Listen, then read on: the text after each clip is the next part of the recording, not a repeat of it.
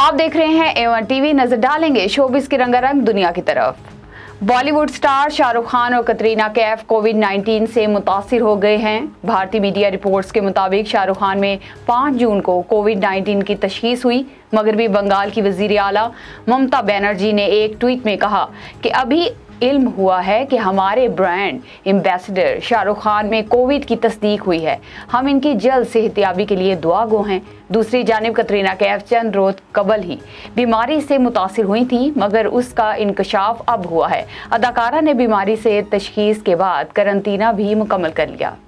Bollywood superstar Salman Khan और इनके वालिद सलीम खान को धमकी आमेज खत मौसू हुआ है। भारतीय मीडिया रिपोर्ट्स के मुताबिक पुलिस का कहना है कि इतवार को मुंबई के इलाके बांद्रा बैंड स्टैंड के करीब से सलमान खान और इनके वालिद सलीम खान के नाम एक धमकी आमेज खत मिला।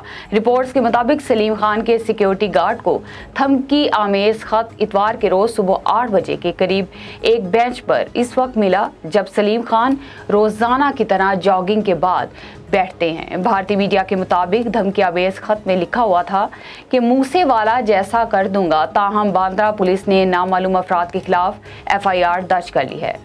बॉलीवुड के नामवर रैप गुलकार हनी सिंह ने सिद्धू मूसेवाला और केके की मौत पर शदीद दुख का इजहार किया है। हनी सिंह ने कहा कि भारतीय म्यूज़िक इंडस्ट्री ने दो हीरो को खोया, सिद्धू मूसेवाला और केके की मौत।